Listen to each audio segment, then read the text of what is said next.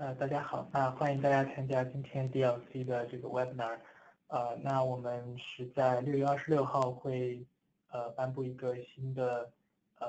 申请系统。那我们今天是主要针对这个新的申请系统给大家做一个说明。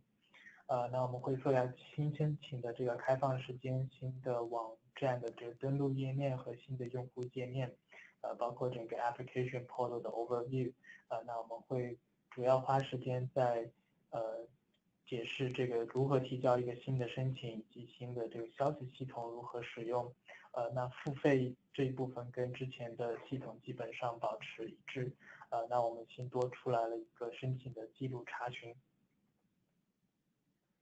呃，那关于从老的网站到新网站的过渡，呃，我们在六月二十六号新的网站会对大家，呃，对所有的生产厂商开放。呃，那我们会有一些新的界面和新的功能，我们在接下来的几个 slide 当中会给大家做一个解释。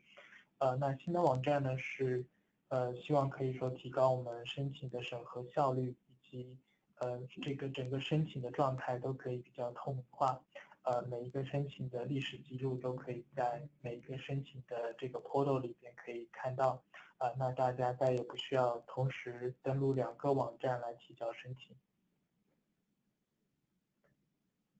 呃，那关于新网站的一些新的功能，首先是，呃，我们对所有的这个材料都会有一个根根据你提交 application 的 type，那每一个 application 它都会有，呃，单独的呃要求来提供不同的这个材料。那我们在接下来这个 document 那一栏会主要跟大家解释，呃。还有就我们刚刚有提到有新的这个消息系统，那大家不需要再通过 email 跟你的审核员来进行沟通，可以直接在每一个 application 里边，呃的这个信息系统里边跟你的呃审核员进行沟通。呃，那最后是针对每一个申请都会有这个申请的详细记录，这个申请的状态的变化都会呃有非常详细的历史记录，呃，在这个每一个 application 里边。呃，那从六月二十六号起呢，所有的新的申请都必须要在这个新的系统里边提交。呃，那如果说在六月二十六号之前你有提交申请的话，那我们依然会在老的系统里边进行审核。呃，最终呢，这些申请会被转到新的网站上面。但目前我们呃在六月二十六号，你可能还不会看到呃旧的申请。呃，但如果说在六月二十六号之前你是在旧的网站上面提交的申请，我们依然会。呃，旧的这个审核方式把这些 application 审核完。呃，那和之前一样，每一个用户名都会对应一个呃 email 地址。呃，如果说你之前在新的网站上面已经有过账号的话，那可以直接使用这个账号来登录新的系统，不需要重重新注册新的用户名。呃，那如果说之前你没有在网站新的网站上面有呃，账号只有在旧的 apps 的 device 的 org 上面提交申请，呃，那呃，你可以使用同样的 email address，但是在新的网站上面需要重新呃重置一下密码，呃，那只需要在新网站上面点击 sign 呃 slash create account，呃，那它会让你呃提供给你一个呃这个登录的界面，然后点击 forgot password 和 send me reset email。呃，大家会收到系统发送的一个呃带有呃这个密码重置的一个链接，呃，那重置完密码过后，大家就可以直接登录进来。呃，登录进来过后，大家看到的这个是 My Account 或者说是我们的这个呃 Dashboard。那之前有提到，在呃之后的一段时间，在所有的 Application 下面可以看到之前。在六月二十六号之前提交的这些申请，呃，但目前我们还正在处理这个过程，呃，所以说呃，暂时时间还是待定。呃，大家如果需要更改自己的联系方式的话，可以直接在 application，呃，sorry，在这个 account information 里边，呃，点击呃 profile 或者说 change password，呃，这个 phone number 都可以在这边。更改，呃，那记得所有的更改完之后，必须要点击这个绿色的 Save button，不然的话，所有更改的信息都不会被保存下来。呃，这个 Save Search 跟我呃之前在网站上面已经有这个功能，呃，大家登录进去过后，大家可以看到这个 State Search，那这边会保留大家最近呃搜索的这些 criteria，呃，那如这边有两个按钮，你可以呃点击 Resume，可以呃做同样的这个 search，或者说点击 Email download link，那可以把所有搜索的这些产品 download 下来。呃，接下来我们主要会讲一下这个新申请的呃这个提交过程。呃，那在点击 My Application 过后呢，大家可以看到所有呃在所有你提交的这些申请，呃，那在最左边大家可以看到一个像眼睛一样的标签，大家点击这个这个的话，可以查看这个 Application 的所有的信息。呃，当然也可以在搜索栏当中搜索，呃，根据 application 的 code 或者说 application 的名字来进行搜索。呃，如果大家需要创建一个新申请的话，可以在这边点击 create application，呃，那大家就会到这个 create new application 的这个页面。呃，那申请一个，呃，创建一个新的申请的话，大家需要输入。呃，application 这些 details 包括申请的名字，那这个名字可以是产品的型号，或者说产品的 series，呃，或者说呃呃，在未来你可以知道这个申请是哪一些产品。呃，description 就这 app 呃申请的一些描述的信息。呃，那非常重要的是 application type，呃，在这边大家。呃，因为你根据你选择的这个 application type，在接下来你上传文件的时候，会根据你这个 application type，呃呃，会提供你不同的呃文件的类型。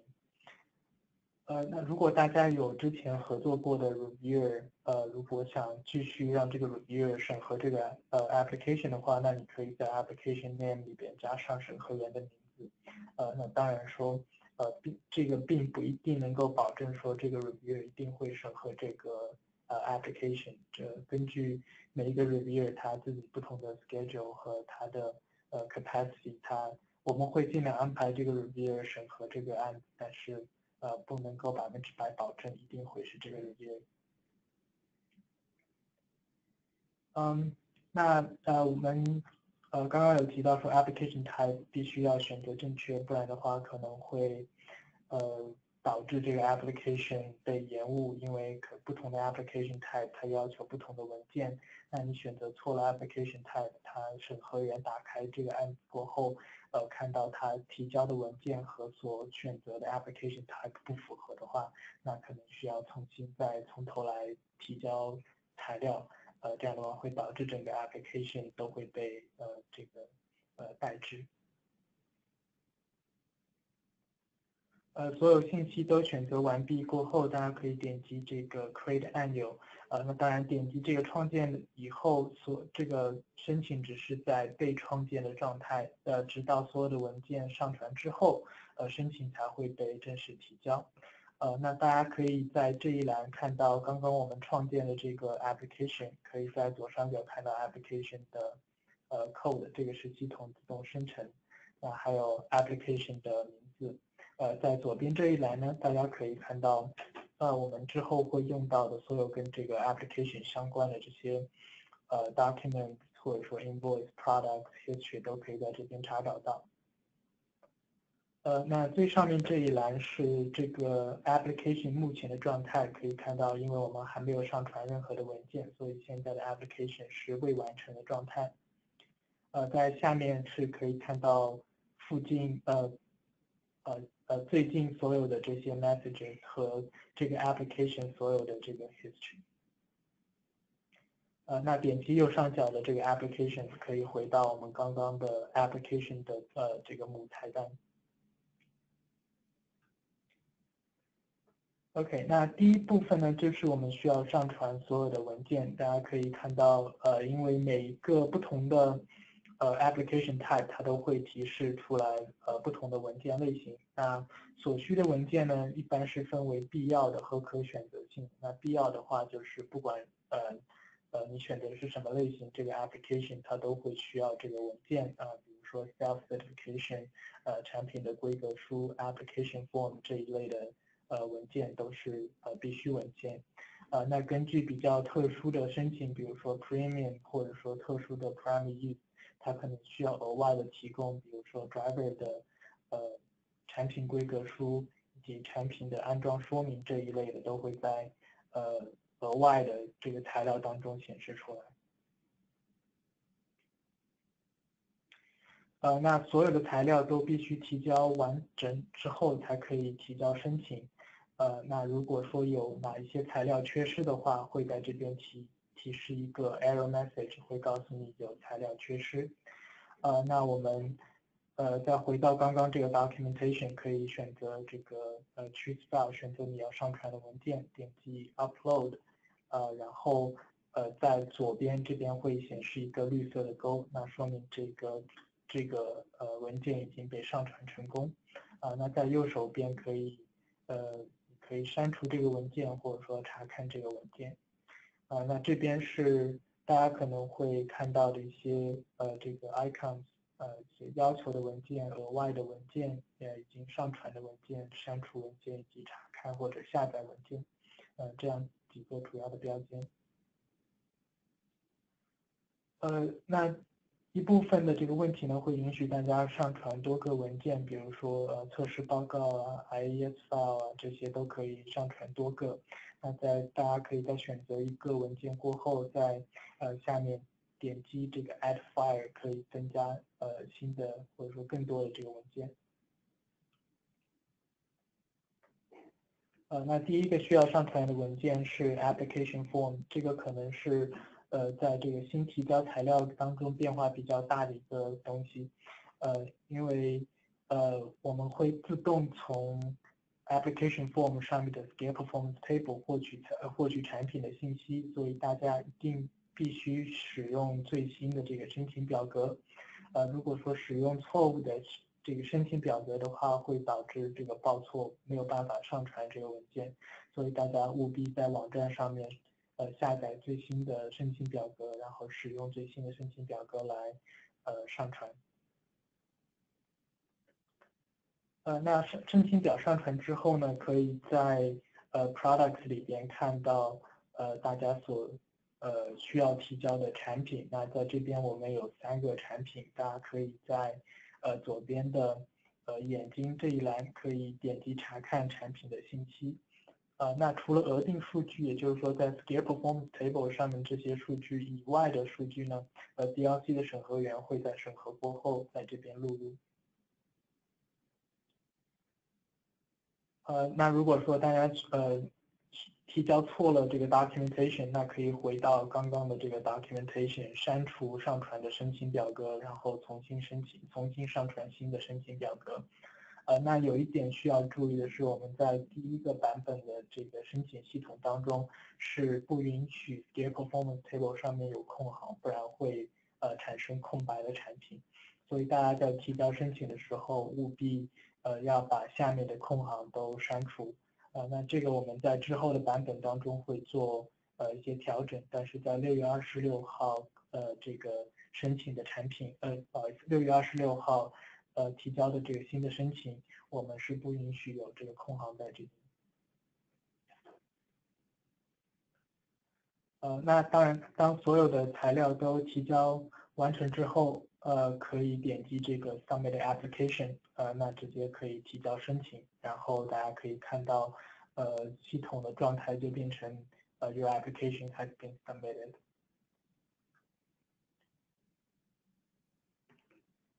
呃，那这个是我们刚刚有提到的一个呃信息系统。那这个跟 email 的呃工作方式基本保持一致，只是说这个是在每一个系统、每一个 application 呃里边的呃跟 DLC 沟通的、跟 DLC 审核员沟通的一个工具。呃，那呃目前呢，我们是要求所有跟这个 application 相关的呃 communication 都必须要在 messaging 系统里边完成。呃，如果说你是通过外部的邮件发送给 DLC 审核员的信息，审 DLC 审核员可能会要求你在消息系统里边再重新发送一遍。这样的话，我们可以 track，呃，可以呃 track 到所有的 conversation。嗯，在呃，DLC 审核员发送给你信息之后，你可以看到在 Recent Messages 里边可以看到所有的这个信息。呃，那你也可以主动在 Actions 里边，呃，通过添加 Message 来发送，呃，给 DLC 审核员发送信息。呃，那这个工作的大概的这个框架和和普通的 Email 基本上一致。呃，大家。大家需要选择这个下拉菜单当中的呃信息的类别，呃，那 subject 来主题栏是必须要填写的一个内容，呃，然后其他的话基本上和邮件的工作方式一样，呃，最后大家务必点击这个绿色的 save button，呃，不然的话这个消息不会被发送。嗯，然后发送的消息会在所有的 recent messages 里边被 track 到，呃，那这个 open 和 resolve 的这个状态呢，是由 DLC 的审核员来决定。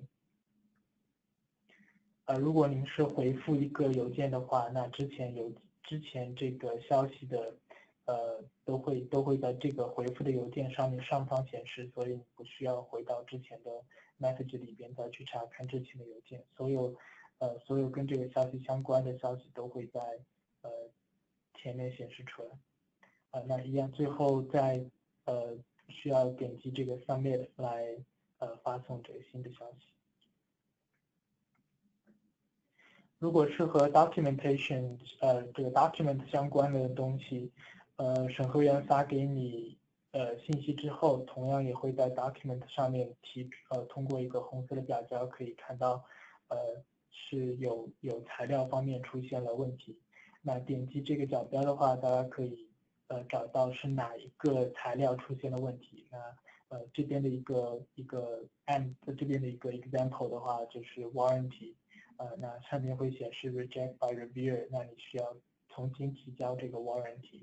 呃那具体这个问 document 的问题是什是是是哪边出了问题的话，会在 messaging 里边。呃，审核员会给你做一个解释，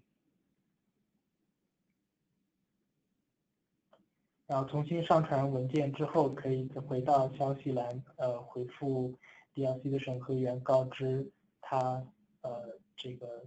新的文件已经上传。呃。这个支付系统跟我们目前的支付系统没有太大的变化，一样，大家可以在网站上面使用信用卡支付，呃，只是说每一个 application 之前的话，我们是有一个 my my invoice 的一个 tag，那在这边的话，只是呃每一个 invoice 和每一个 application 都是联系在一起的，那大家。在收到 invoice 过后，可以在这个 application 的 invoice tab 里边看到这个角标，呃，表示表示说这个 application 已经被 invoice，呃，那大家可以点击 invoice 查看，呃，这个 application 的费用的细节，呃，那当然我们多增加了一个 print invoice 的功能，大家可以通过这个来直接把发票打印出来。呃，那 credit card 的这个呃信息录入和我们之前几乎是一致，没有任何的变化。呃，application history 就是在每一个 application 里边呢，我们在呃 messages 下方有一个 application history，大家可以看到每一个呃申请呃它的呃状态的变化以及每一个状态变化的时间。呃，那大家可以详细的看到。呃，这个 application 是什么时候提交的？什么时候审核员发了你一个 review 的呃 email？什么时候这个呃呃这个 issue 被解决？那什么时候 initial review？什么时候 comprehensive review？都有一个比较详细的一个呃信息啊，每一个信息都有呃时间和日期。呃，那在以下这些系统。呃，状态更改的时候呢，大家都会收到一个自动系统发送的自动的邮件，呃，那跟现在目前的呃系统一致，呃，那可能多了一个审核员 assign 也也会有一个自动的邮件，那 message resolve 也会有自动的邮件，呃，application type 这个 status 的 change 那也会有一个呃自动的邮件，呃，所以呃这样更好的保就是。保持跟生产厂商之间的这个沟通和交流。Ok 那最后是我们的一个 summary 呃那从六月二十六号开始所有的新申请都会在呃新网站上面进行。呃那我们是确保申请的完整性。呃大家可以使用消息功能来跟审核员进行沟通然后可以看到所有申请过程当中的这些申请状态的改变。嗯。那我们之前也有一个英文版本的 webinar，那内容跟这个一致。如果说大家呃比较 prefer 这个英文的 webinar 的话，可以在网站上面找到英文的这个版本。呃，一样，如果说大家对呃 application 有任何问题的话，欢迎发送 email 到 application@development.org。那如果说跟 user account 或者说其他的呃 DLC 的 general question 的话，大家可以发送到 info@development.org。啊，那非常感谢大家参加我们今天的 webinar，拜。